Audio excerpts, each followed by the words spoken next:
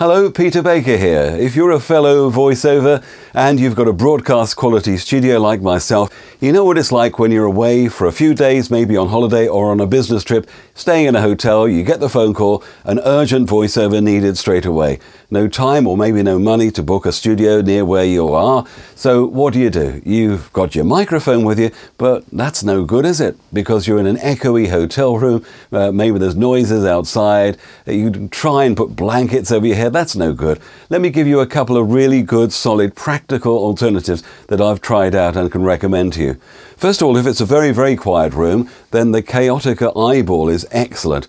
Canadian invention, big bit of foam, very solid foam, and very carefully hollowed out. So you put your microphone inside it. This is a double pop filter that goes on the front of it. It is good, but it only kind of works in a very quiet situation. Basically, what the Kaotica eyeball does is to uh, stop the reflections on the wall, um, so it won't stop too much inherent noise if there's a party going on next door or even traffic outside. That's the problem. So, what can you do? Well, the thing you can do is go to IKEA. It's a Swedish store. You may have one in, uh, in your country, wherever you're watching it from. This is a flat pack thing. It's called a drona. It's only £2.50. It's basically used as a waste bin, I think, or for putting papers in or something. You could use any cardboard box, but the drona basically just pops up, you zip the back, and it becomes a box. And in there, and I've got one completed here, is what I finished earlier is uh, one with all the bits inside it. Now you see we have here the acoustic foam panels, which you can get from eBay or Amazon or anywhere.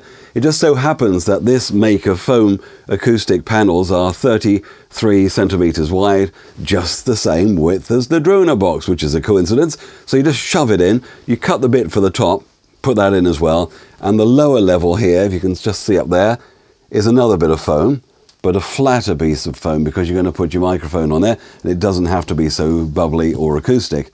And there's something else that goes in there as well. You see, can you guess what it is yet? Oh, you see, there are quite a few of these things around. You've probably seen those parabolic reflector things. And they're great for singers because they've got all the, the lyrics in their head. Us voiceovers, we're stupid. We need a script. So how do you read a script if you've got one of those parabolic things in front of you, eh? And how am I going to cope if I've got a box in front of me as well? Well, that's where this monitor comes in. You'll see the monitor there at the back of the box, and that's simply connected to the laptop that's outside.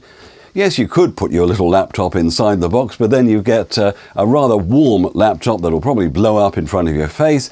Uh, or, of course, you get the fan noise, which you don't want at all. So the perfect solution is to put a little USB monitor, that's a Lilliput USB monitor, at the back of your box, and then you simply get it at the right height, talk into your box, and uh, honestly, it, it is very, very good quality indeed. In fact, if you have a really bad, bad hotel room with a, a wild party going on next door, uh, then you can have the Kaotica eyeball as well as the box. Now, the main issue with both these solutions is that they do increase the bass response. So you do have to add in a little bit of EQ when you're mixing down your tracks before you send them off to the client. And you need to determine that at base and not in the hotel room because on headphones you just can't tell properly. So do it at base when you've got your big studio speakers in front of you. Save it as a preset in Adobe Audition or whatever you're using out there and then apply that once you've recorded using either the box or the box and the Kaotica eyeball, which you may need if you're uh, in a very, very noisy uh, situation. So I hope that's of use to you and good luck recording in your hotel room.